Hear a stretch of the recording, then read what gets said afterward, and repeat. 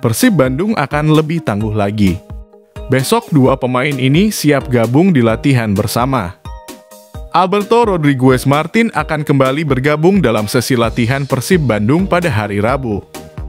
6 September 2023. Dokter tim Persib, Raffi Gani, mengungkapkan bahwa Rodriguez mengalami cedera pada pangkal paha kanannya setelah pertandingan melawan Rans Nusantara di Stadion Gelora Bandung Lautan Api pada Sabtu, 26 Agustus 2023.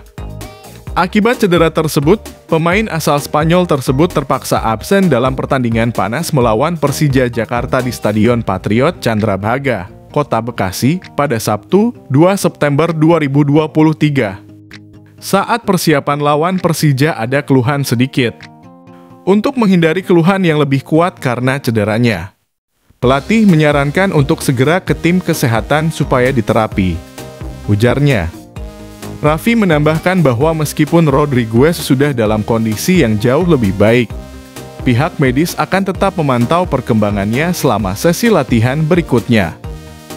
Kami sedang lakukan terus terapi, kami akan lihat kembali saat di lapangan nanti Rabu mendatang, tambahnya. Selain Rodriguez, Febri Haryadi juga siap untuk bergabung dalam sesi latihan bersama Persib pada Rabu 6 September 2023 besok.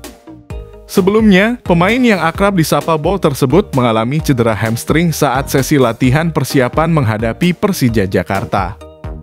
Untuk menghindari cedera yang lebih serius, Febri langsung ditangani tim kesehatan. Kami juga akan pantau nanti saat di lapangan hari Rabu. Semoga semua akan pulih segera, kata Raffi.